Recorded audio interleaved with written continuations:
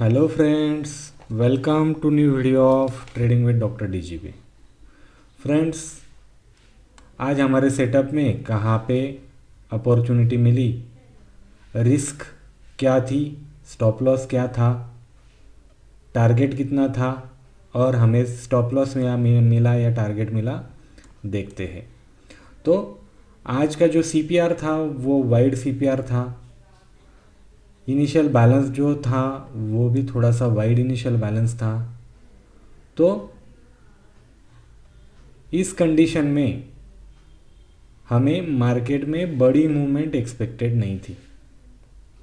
Market काफ़ी ज़्यादा gap gap up open हुआ था। तो यहाँ पे पॉसिबिलिटी थी कि जब वो उसका इनिशियल बैलेंस हाई बनाएगा तो वहाँ से वो इनिशियल बैलेंस लो के लिए नीचे आएगा। हमारे ट्रेड सेटअप में हमने देखा कि ये जो कैंडल है, इस कैंडल ने यहाँ पे शॉर्ट टर्म मूविंग एवरेज के नीचे डोमिनेशन के साथ क्लोजिंग दिया। तो इस कैंडल के नीचे हमारा शॉर्ट जनरेट होता है। और जिस कैंडल ने उसके नीचे ब्रेक किया, उसने इनिशियल बैलेंस लो को भी ब्रेक किया। और अगेन यहाँ पे हमें सेकेंड डोमिनेटिंग कैंडल फॉर्मेशन होते हुए दिखी।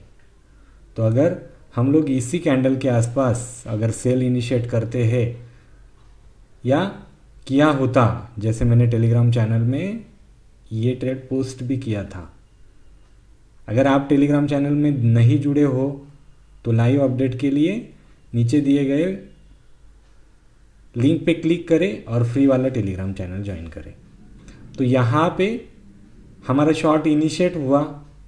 स्टॉप लॉस जो था, वो था हमारा इस कैंडल का हाई ये स्टॉप लॉस न होने का रीज़न था कि short term period moving average के नीचे यहाँ पे इस कैंडल ने क्लोजिंग दिया था और डोमिनेशन के साथ दिया था।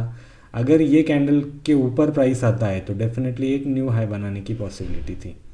But market continues gap up gap up gap up होते हुए ऊपर आ रहा है। तो यहाँ पे प्रॉफिट बुकिंग तो बनती है। तो इस कारण यहाँ पे हमारा ट्रेड इनिशिएट हुआ और यहाँ पे जब ट्रेड इनिशिएट हुआ, उसके बाद में कंटिन्यूस हमें 200 पॉइंट का जो है, वो हमें सेल ऑफ़ देखने को लिए मिला, यहाँ से। यहाँ से कंप्लीट 200 पॉइंट्स का सेल ऑफ़ हमें देखने को मिला। ये बहुत अच्छा रिस्क रिवार्ड वाला ट्रेड था। हमारे रिस्क और रिवार्ड के हिसाब से more than one is to three या वन एस टू थ्री के आसपास हमें यहाँ पे प्रॉफिट होते हुए दिखा। मार्केट की क्लोजिंग जो है, वो डाउन साइड हुई है स्टिल बट मार्केट जो है, वो अप साइड मोमेंटम कर सकता है। बट आज के ट्रेड से यहाँ पे हमें एक थोड़ा सा, एक लोअर हाई फॉर्मेशन एंड एक लोअर लो फॉर्मेशन यहाँ पे होते हुए फाइव मिनट के कैंडल में दिखता है। यही फॉर्मेशन अगर 15 मिनट और आवरली कैंडल में कंटिन्यू होता है तो हम लोग यहाँ से रिवर्सल की भी एक्सपेक्टेशन कर सकते हैं। बट अगर मंडे को हम लोग forty thousand five hundred fifty के ऊपर अगर सस्टेन करते हैं तो फिर ये रैली ऐसे ही कंटिन्यू हो सकती है।